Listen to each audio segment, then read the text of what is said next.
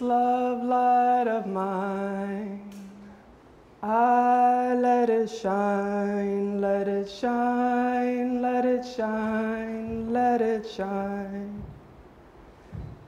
I remember singing this song in kindergarten. I would be in my school sanctuary, searching for the love light that was shining in others, wondering if they could see mine. I still look for it. So often I see it in moments. Sometimes I see it blooming bright. But for me, my life taught me so much about holding back my light. But I didn't know it. From the outside looking in, I had everything going for me. I knew I was loved. My parents created that foundation. But that didn't mean that I felt it. By the time that I was 26, I was lovingly placed in charge of my family business.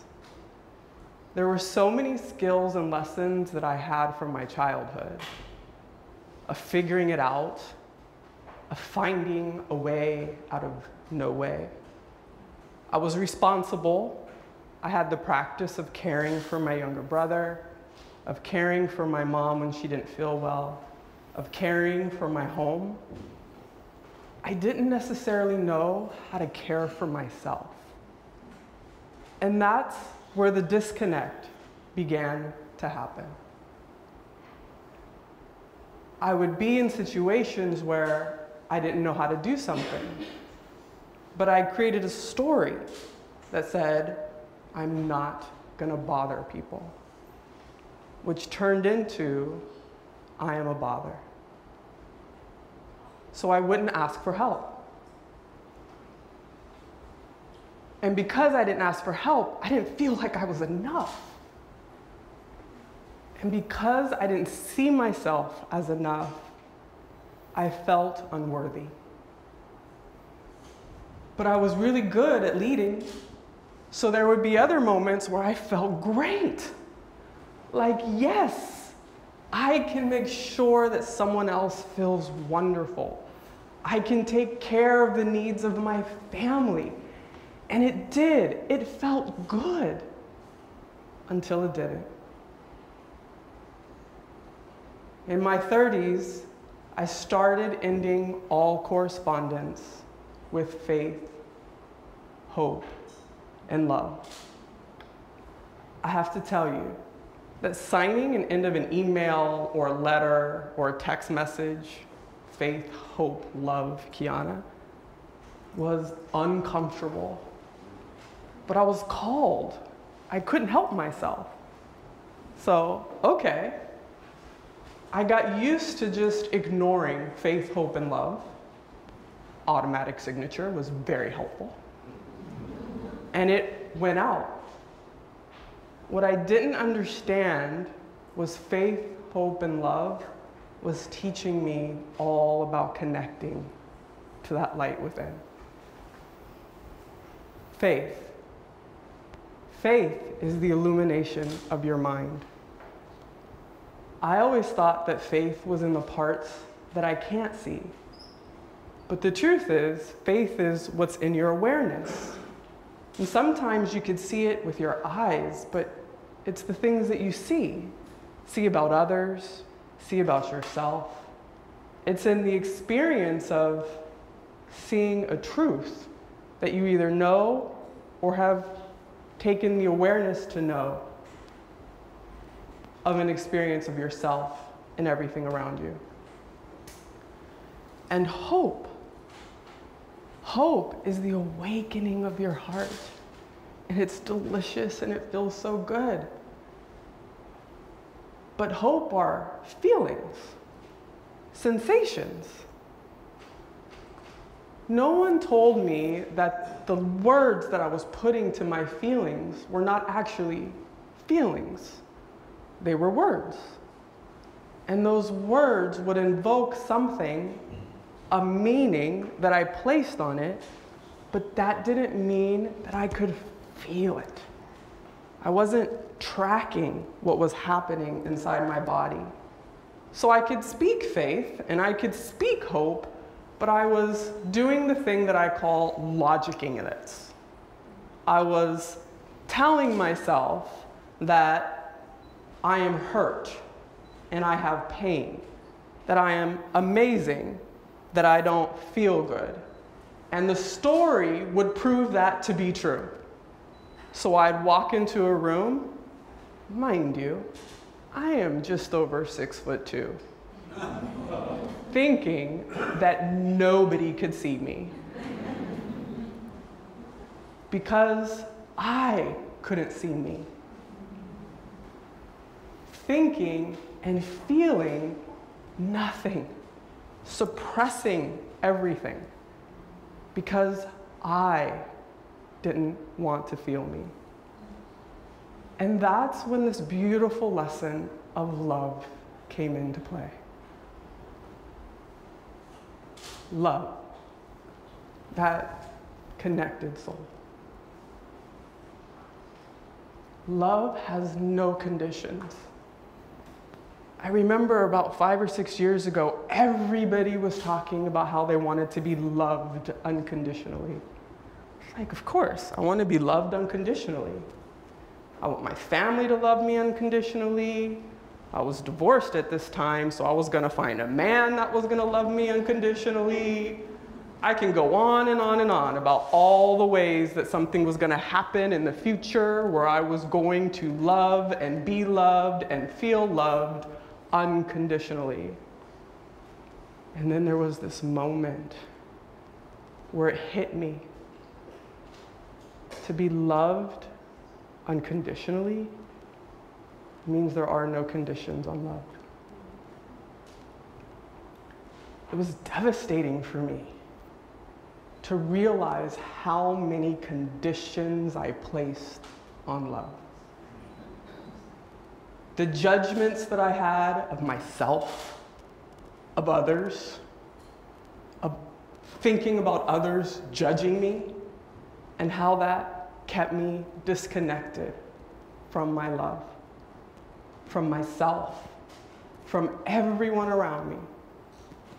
And that lesson of love really came home when love was injected into how my mind was illuminated to everything that was in my awareness.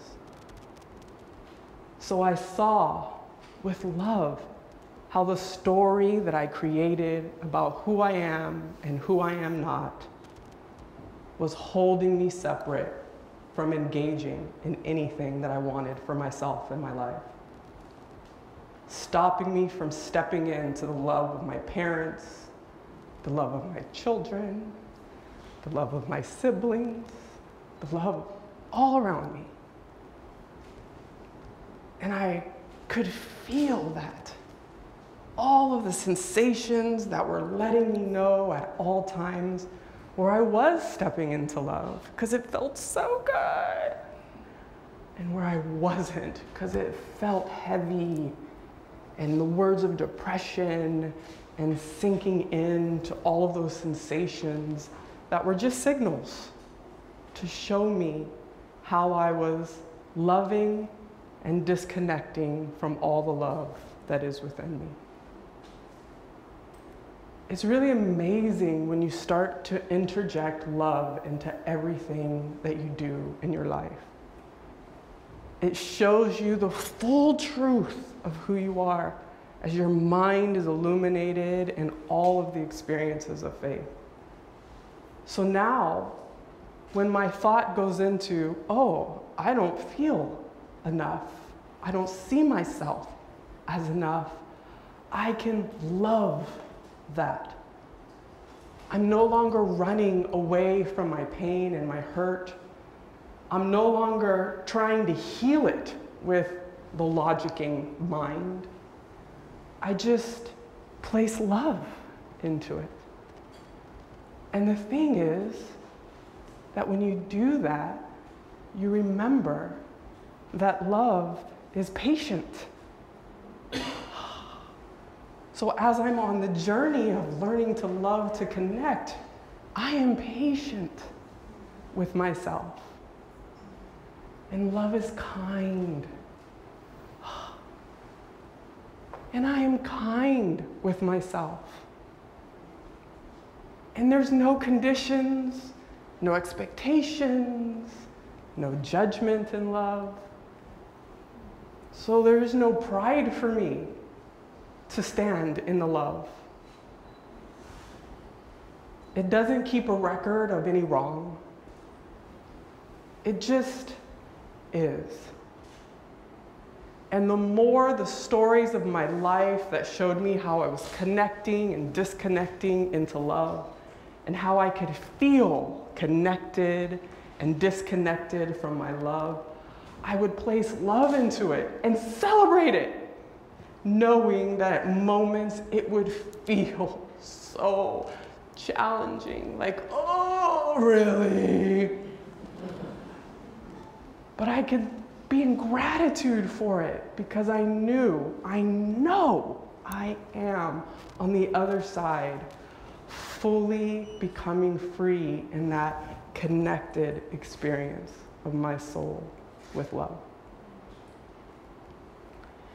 And the other part that's so beautiful is that I know whatever is for me is for everybody. So now I'm no longer judging myself for the way that I feel or the way that I think or the way that I experience life. I can love and ask, where is my love keeping me connected and how do I connect more? And I get to create that instead of having my yes be to something that I am unintentionally creating. I now create from a place of love where I step into the fullness of myself. At 6'2 and huge and big, I take up space. And sometimes I'm just like, not today, not today. And I love everything that I see, everything that I am, and the awareness of all of it. And I claim it. I claim the love that I am. It is the power that rests within me. The power of seeing my full truth in all of the ways that I love and all of the ways that I can learn how to love expanded.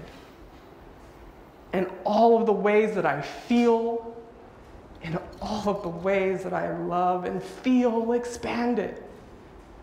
And man, it's a superpower to be free as yourself. So amazing to step into this world that continuously asks us to see who we are, to know and how we feel, and to live in the light of our love. And this is not a journey over there. It's right here. And it's for me and it's for you. And I love it so much. And I get to sing. This love light of mine, I let it shine. Let love shine. Let love shine. Let love shine.